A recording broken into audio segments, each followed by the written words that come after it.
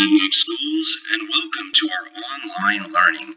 Your teacher has been working to create an online classroom just for you so that learning can still take place even though you're at home and not at school. Welcome to our e-learning. Welcome to Microsoft Teams. Microsoft Teams is a robust platform for all of our needs. We will be completing all of our tasks, assignments, and communications on this platform. So how do you get there? Well, first go to our website, adnoc.sch.ae. Then click on e-services and the webmail. Every student has been given a username and password for our webmail service for Outlook. So you will sign in.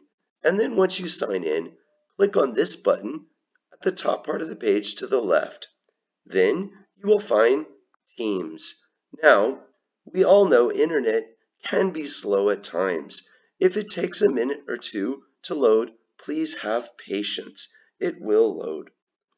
Once you get into Teams, when you click this button here, Teams, you will find a list of all your classes. Let's go into 11A English and see what's there. This is the main page.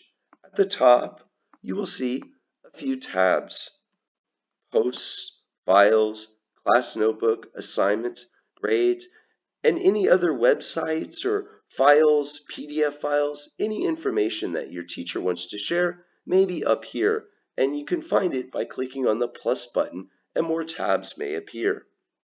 If you would like to send a comment, a question, or reply to your teacher, upload a file, that can also be done at the bottom. Now, when you post here, this question or comment or whatever you say will be shared with the entire class and other teachers. So please be careful and cautious with your words to make sure that it's within the UAE guidelines and also the school principles. If you click here in the chat button, you will be able to send an individual message to a teacher or to another student. Looks like this. You can type your message at the bottom. You can upload a file, a video, put a smiley face emoji, whatever you need to do.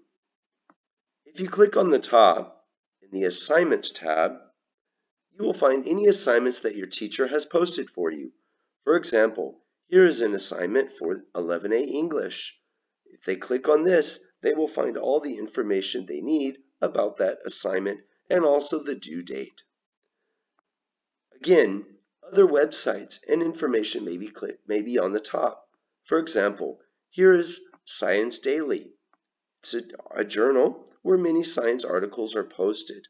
So the students can go there and find out the information that they need. Videos may also be shared. For example, here is a video on how to format a paper in MLA. Thank you very much. Again, if you have any further questions, please contact your teacher. Your teacher is here for you and will help you. Also, remember, check your assignments regularly. Don't go a long period of time without checking in because you may have missed something. Also, ask your parents to help you. And even though you're at home, you can still learn. Work hard and responsibly to meet all of the deadlines.